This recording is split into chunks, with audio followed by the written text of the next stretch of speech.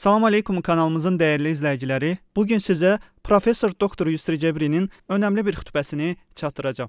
Qardaşlarım, təbib olmağım səbəbilə xutbəmin bir qismini son günlərdə yayılan virusa ayıracağam. Öncəliklə bilməniz lazım olan bu virus laboratoriya şəraitində ortaya çıxarılmış bir virusdur.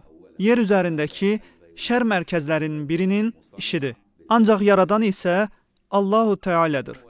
Bu virusu düzəldən bunu düzəldərkən özünü qoruyacaq dərmanı da düzəltmişdir.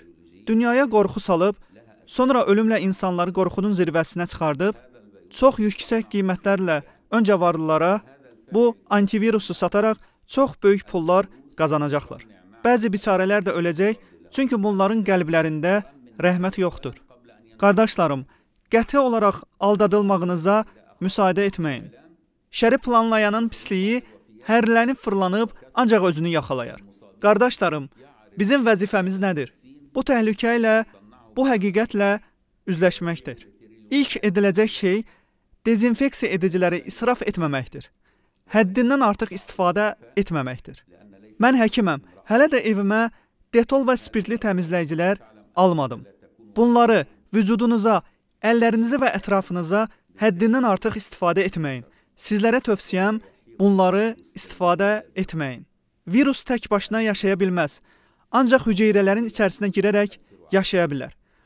Hüceyrələrin ətrafındakı faydalı bakteriyaları öldürsən, virusun hüceyrəyə çatma qapısını açarsan.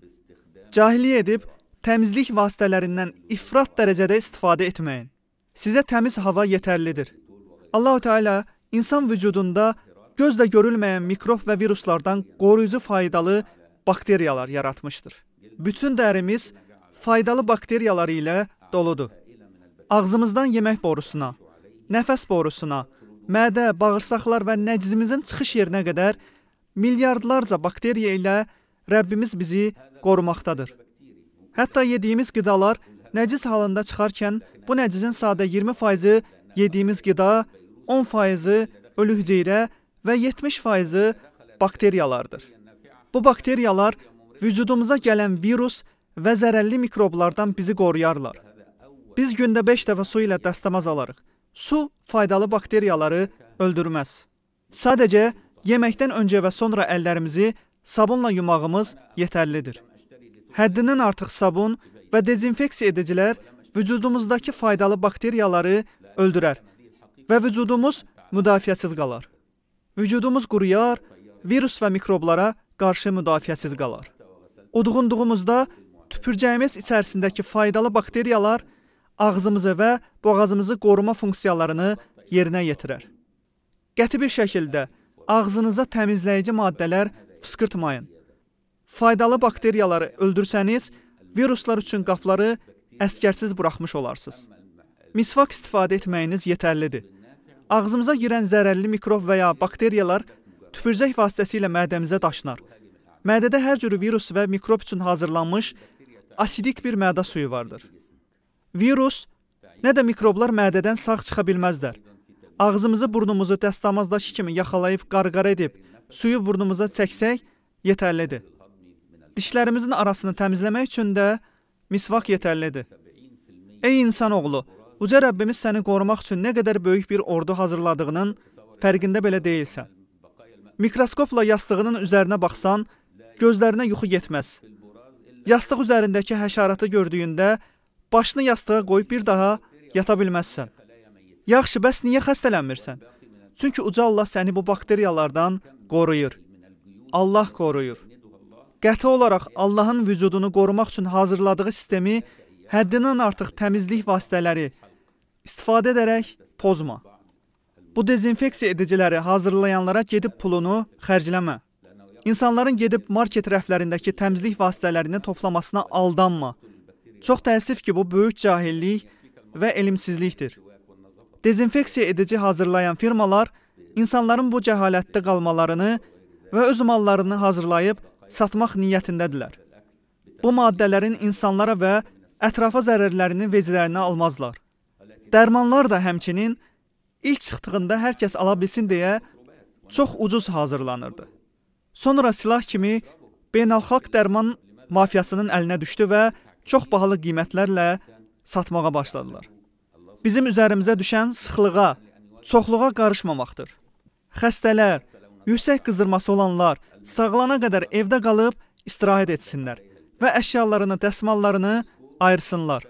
Buna normal günlərimizdə də diqqət etməyimiz lazımdır. Evdəki insanlarla təmas etməsinlər.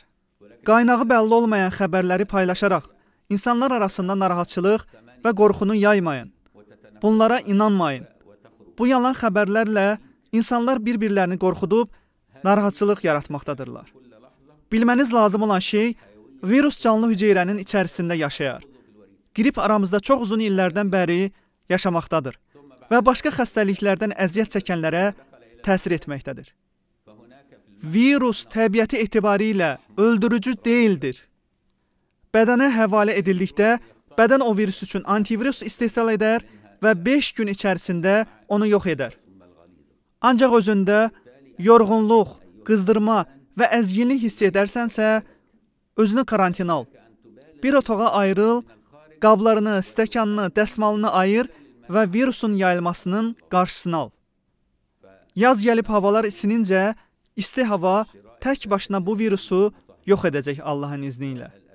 Yaşlılar, öncədən xəstə olanların keçmiş xəstəlikləri səbəbilə ölümləri artmaqdadır.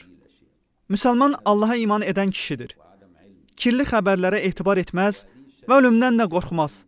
Çünki ölüm Allaha qovuşmaqdır. Ölüm Allahın möminə bir rəhmətidir. Ən gözəl ölüm müsəlman olaraq ölməkdir. Amma kafir və müşriklər ölümdən çox qorxar və ölmək istəməzlər. Müsəlman Allahın qədərinə razı və mütmaindir. Ancaq xəstə ikən başqalarına zərər verməmək üçün insanlardan uzaq dur. Sulu şeylər için ki, boğazınız quru qalmasın. Rütubət virusu öldürər, quruluq virusu qüvvətləndirər. Özəlliklə atalarımızdan öyrəndiyimiz isti çay içəcəklərini artıraq. Cökə, ada çayı, çörək otu, zəncəfil, sarı kök, bal və s. kimi içəcəklərlə vücud dirəncimizi artıraq. İdman edərək, qan axışını sürətləndirək və vücudumuzu canlandıraq. Çox yatmaq və tənbəllikdən qaçının. Allahdan günlərimizi güvən, xeyir və bərəkətlə keçirməmizi diləyirəm. Allah ana və atalarımızı bizlərə bağışlasın. Amin.